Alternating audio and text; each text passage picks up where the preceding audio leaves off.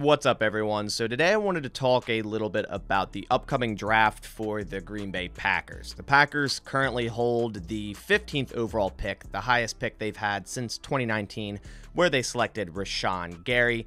The Packers currently hold 10 total picks in the upcoming draft, including a fifth round compensatory pick, which they obtained from MVS signing with the Kansas City Chiefs, also a seventh round comp pick when Chandon Sullivan signed with the Vikings, totaling those 10 total draft picks for this upcoming draft. So the Green Bay Packers have a lot of draft capital, whether they wanted to package some of those together to move around in the draft or really add a lot of young talent to this roster to build for the future, whichever way they go with the whole Aaron Rodgers or Jordan Love situation. But regardless of which way the Green Bay Packers go, their draft needs remain the same. So in today's video, I'm going to go over the four biggest draft needs the Green Bay Packers have in 2023. And guys, if you are a new viewer to this channel and you enjoy everything Packers content from draft content to free agency, salary cap, everything in the offseason, this is the channel to get all of that. So if you are new here, go down, click the subscribe button. It supports my channel a ton and also leave a like on the video. So to get this video started, I'm going to give an honorable mention to tackle. Now, they're not in my top four,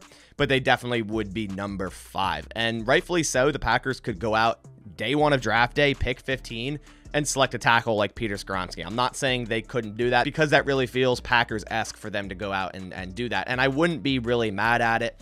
The Packers need to add more depth on this offensive line, primarily at the tackle positions. They don't really have a true right tackle as of right now. Yes, Yosh Nijman and Zach Tom and potentially Royce Newman could play the right tackle spot, even though we all don't want Royce Newman there.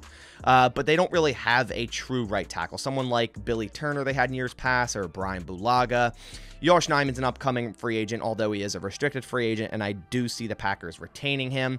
Zach Tom can play anywhere, but is his best position at right tackle. It might be at one of the guard spots or even center.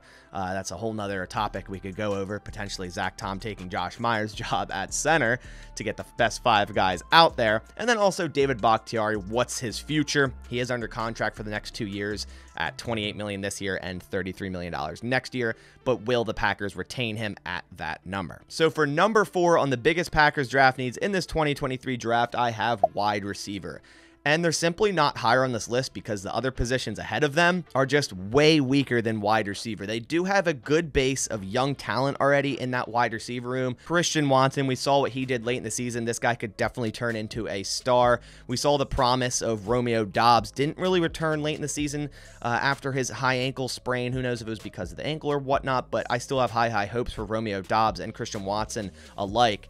And then also Samori Toure. We saw a little bit of flash from Samori Toure when he was on the field. I do believe that guy can be a good wide receiver on this team. And then even Bo Melton, who they signed late last year, didn't get any offensive snaps, but this guy definitely has talent. So they have four really young wide receivers that they could build off but they also have two impending free agents, two guys that got a lot of snaps last year. Allen Lazard, basically the number one wide receiver in the offense. Is he going to come back? Not really sure if that's going to be the case. It didn't seem like he wanted to. Now, we may be misinterpreting that whole thing, and he definitely wants to come back to Green Bay, but I haven't seen anything that tells me that. And plus, will the Packers pay what Allen Lazard wants? He could probably get a little bit more money on the open market, which I do believe he will do, and he does deserve but I just don't think the Packers are going to uh, fish out a lot of money for someone like Allen Lazard. And then there's Randall Cobb, which I don't see the Packers retaining unless Aaron Rodgers makes it a thing. Okay, I'll come back, kind of holding the Packers hostage like he said he wouldn't, but I need these players on the team. That's the only case I see Randall Cobb coming back. I do love him. Randall Cobb, you know, so many memories with Randall Cobb, especially against the Bears, but I just don't really see him fitting in this wide receiver room, the future of this wide receiver room, whether it's Aaron Rodgers or Jordan Love. To be honest, I think they should just go younger, uh, potentially draft a true slot wide receiver, a young guy in the draft as well. And they just desperately also need a, a true number one wide receiver. The top wide receiver last year was Allen Lazard with 788 yards. That's the lowest top receiving yards on the Packers offense since 2003. Yes, 2003, Javon Walker had 716 yards. And that's wild to think about considering the day and age we are in the NFL and how much of a passing offensive game the NFL has become. Compared to 2003 when Javon Walker had 716 yards, you know, NFL was more run oriented in offense at that point. Now, would they find a true number one wide receiver in a rookie right away? Probably not. It's really hard to find the Justin Jefferson uh, and Ja'Marr Chases right away in the draft, and they automatically become a number one wide receiver. Now, could one of Quentin Johnston, Jackson Smith-Njigba, Jordan Addison, Zay Flowers become that guy? Sure, they could, but will they do that right away? You never know. That's kind of the thing with the draft, but nonetheless, they need to add talent to this wide receiver room, and they likely should draft multiple wide receivers in this draft. For number three on this list, I have the edge position. The lack of edge rush, I feel, really hurt this Packers defense late in the season. After Rashan Gary went down, it just did not look good at all. If we go over the stats real quick, weeks one through eight, when Rashan Gary was playing, the Packers totaled 134 pressures and 20 sacks. Now, weeks 9 through 18, when Rashan Gary, you know, tore his ACL, wasn't playing, given this is two more games. This is two more games than weeks 1 through 8. So weeks 9 through 18, they totaled 110 pressures and 19 sacks, 24 less pressures and one less sack in two more games. Rashan Gary's loss affected the defense heavily, in my opinion. Now, Kingsley Enagbare looked really promising, and I think this guy has a bright future on this defense, especially being a fifth round draft pick. I feel like that was a steal last year the moment they ran that card up to the podium. I believe that guy was like second or third round talent, so I really liked what I saw from Kingsley Enagbare and I do believe he will be a starter um, opposite Rashan Gary at, at, some point in the future. Preston Smith was also pretty good. He had a decent year, but he is getting older. Just really, the Packers' edge room just lacked depth. After Rashan Gary went down, you know, Kingsley Enagbare was thrown into the starting role when he was, you know, the kind of the depth guy when Rashan Gary was there. And also when Rashan Gary's gone, you know, he was taking all the double teams, then, you know, they can double team Preston or Enagbare, and then they basically have no pass rush, which is what happened late in the season. And you can always add pass rushers. You can never have enough. I say this all the time. Adding someone early like Lucas Van Ness, Nolan Smith, BJ Ojulari, Andre Carter, Will McDonald, those are some early options that I think could really help this defense. For number two on this list, I have the tight end position. Now, let me get this straight. I do not value tight end over edge. If the Packers are picking at 15 and a premier edge rusher is sitting there ready for them to draft over someone like Michael Mayer, they should probably do that. But the Green Bay Packers literally have one tight end under contract in 2023, if you're not including the future deals to Guggemos and Allen, who are going to be camp bodies anyways. And that tight end is Josiah DeGuara, who is more of an H-back than a true tight end. So the Packers really have like no tight ends under contract for 2023. And that's why I have them above edge in this regard, because at least on edge, you still have Press Smith and, Enagbare and Rashan Gary will return. When that will be, we don't know. But tight end literally has no one. Marcedes Lewis is an impending free agent. Robert Tonyan's an impending free agent. I do believe they'll bring Marcedes Lewis back, uh, regardless if it's Aaron Rodgers or not. I think that guy has more gas in the tank, and we saw that last year. He's such a pivotal part of this offense in terms of a blocking tight end, but he's not that threaten you uh, in the passing game type of tight end that the Packers need, obviously. And overall, the Packers really just need to revamp that entire tight end room, regardless if it's Rodgers or Love. Someone like Michael Mayer or Dalton Kincaid, I think would help this offense a ton. I actually made a video on Michael Mayer yesterday. Mel Kiper put out his first mock draft of the season, and they had the Packers selecting uh, Michael Mayer there. So if you want to go watch that, just click the link right above. But the fact is, the Green Bay Packers haven't had a 700 plus yard tight end since Jermichael Finley in 2011. They've really been missing that down the middle of the field, seam tight end that can threaten you vertically. You know, you can make contested catches, can be a mismatch monster against undersized defensive backs or slow linebackers. They really haven't had that guy.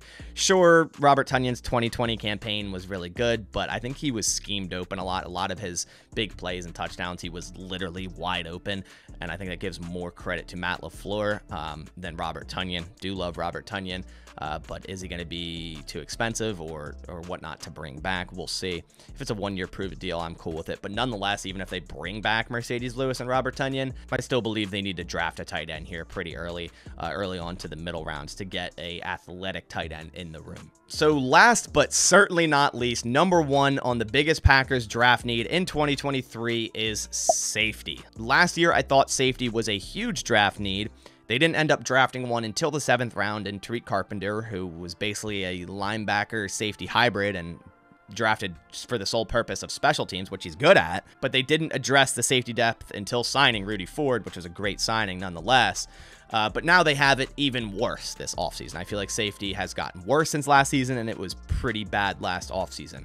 The only safety under contract that's played meaningful snaps on defense is Darnell Savage, and we saw what kind of year he had, and he's only on the roster because they accepted his fifth year option last year, and that's at a whopping $7.9 million. So will he even stay on the roster at that number? Who knows if they somehow find a trade suitor, they'd likely have to give up draft capital for them to take on Darnell Savage's contract. But how thin the safety room is, they might just have to deal with it and keep him on the roster.